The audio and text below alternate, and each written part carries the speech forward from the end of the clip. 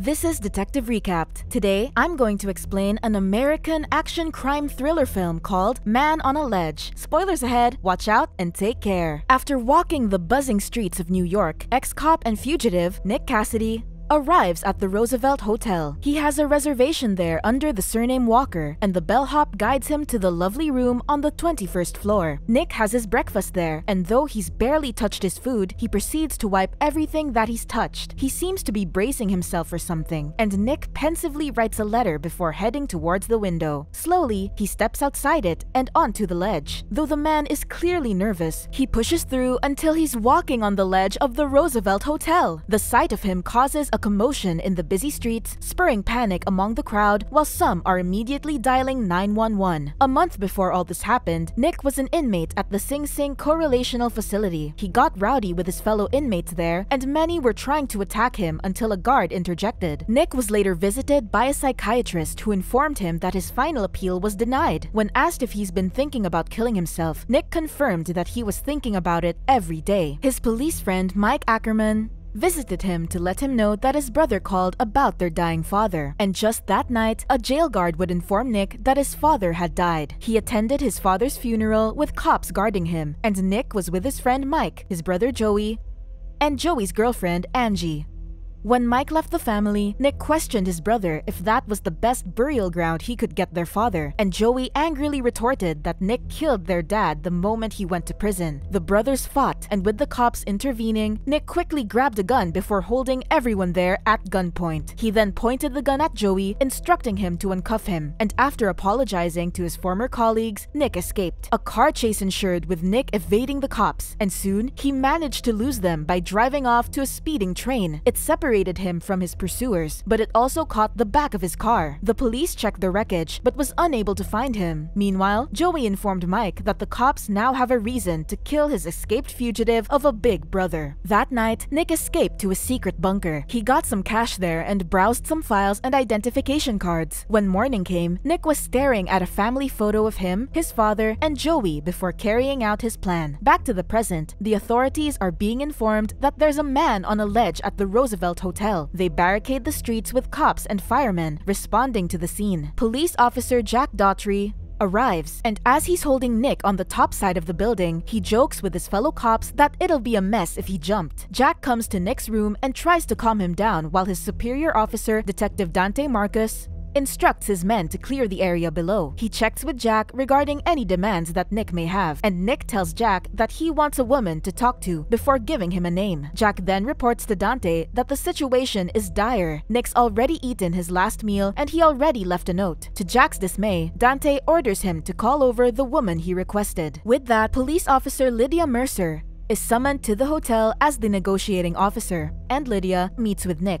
There, Nick reminds her of the time she failed to save a cop who had killed himself on Brooklyn Bridge. She tries convincing him to talk with her inside his room, but the man confesses that he is ready to die. Jack sarcastically applauds Lydia, so she retorts to their fellow officers that she's in charge, so they should leave the scene to her. Jack then gives her five minutes with Nick. Meanwhile, Mike is still looking everywhere for his friend. In the same building, a rich businessman named David Englander is blissfully unaware of everything that's transpiring. Instead, he's currently upset over some problems his financial investment is running into. Upon learning that Nick didn't leave any fingerprints in the hotel, Lydia grows suspicious of him. Still, she continues with their negotiations and even offers him a smoke. But unbeknownst to the officers, Nick has an earpiece that he's using to communicate with Joey and Angie. The two are completely unnoticed as they walk through the crowd, allowing them to set their plan against David Englander's jewelry shop in motion. With Nick reminding Joey through his earpiece that they're running out of time, he and his girlfriend quickly climb to the top of the jewelry shop building. Upon seeing them, Nick braces himself before pretending that he's going to jump, spurring a commotion on the street below. The people share a collective scream, drowning out the noise from Joey blowing up a hole in the building from the other side. As Joey and Angie rush inside the adjacent building, Nick finally accepts Lydia's offer to smoke. It almost appears that she had won his trust, but when a news broadcast helicopter appears from out of nowhere, Nick almost loses his grip on the building, making him furious. Mike catches sight of the news, and he's in for the surprise of his life when he sees his friend there. Later on, he finally finds the place Nick stayed at to plan for his big day. Joey and Angie struggle with infiltrating David's building, but soon enough, they finally deceive the security cameras inside. To keep them from being discovered, Nick continues with his distracting balancing act, but Lydia finally gets a print of him from the cigarette she offered. They now have the key to identifying Nick's true identity, but one roadblock is replaced by another, as Joey and Angie encounter a new problem in the building.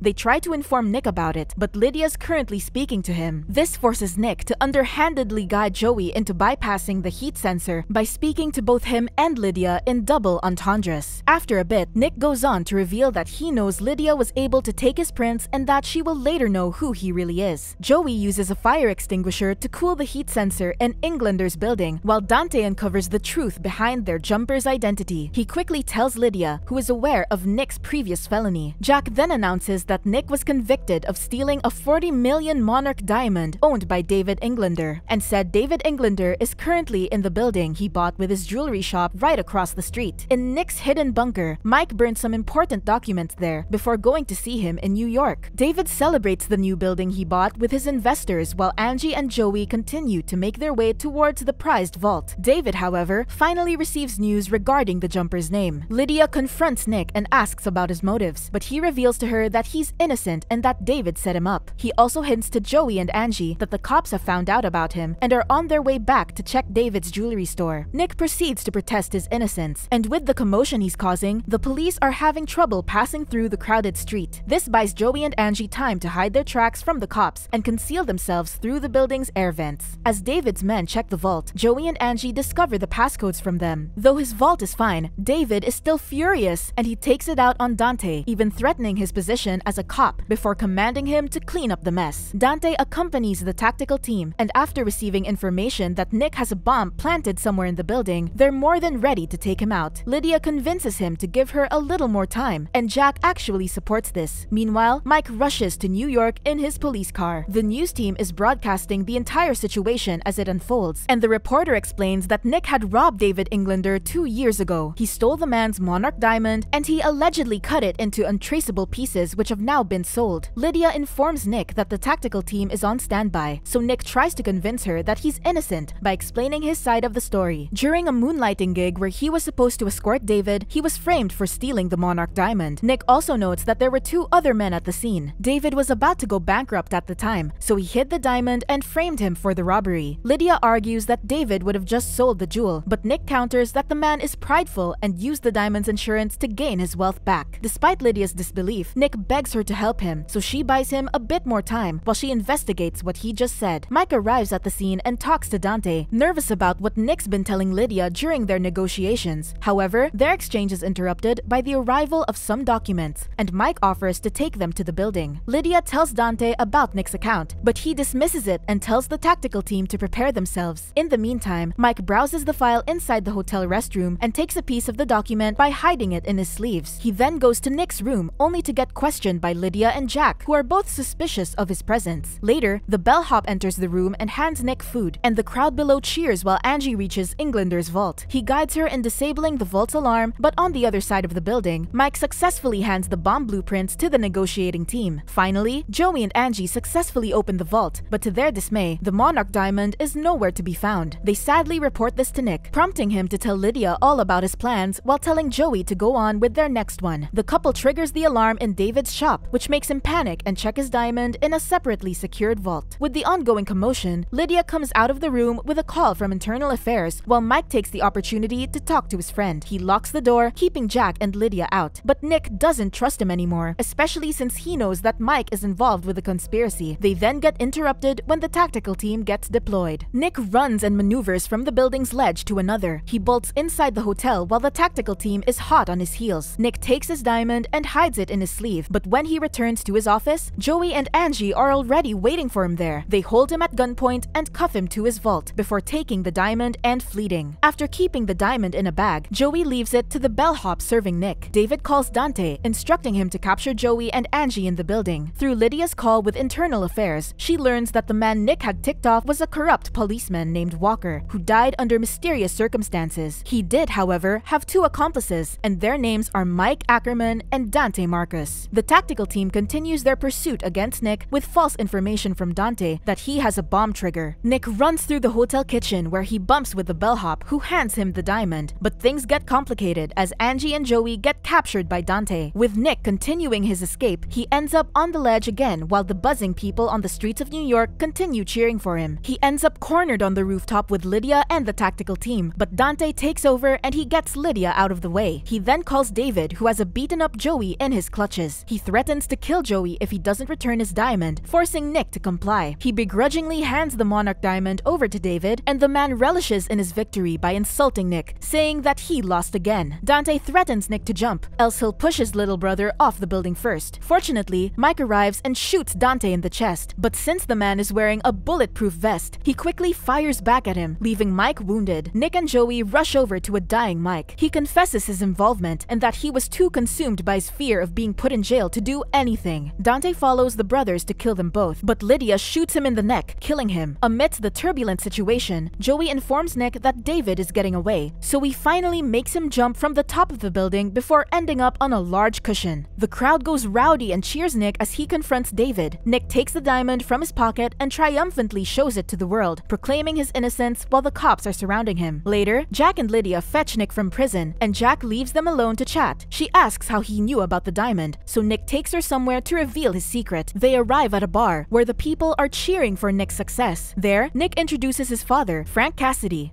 who was none other than the very helpful bellhop at the Roosevelt Hotel. Frank and his sons embrace each other, and later on, Joey silences the crowd so he can propose to Angie with the ring he stole from David's jewelry store. Subscribe to watch more videos like this. Turn on notifications. And leave a like it really helps the channel out. Thank you for watching.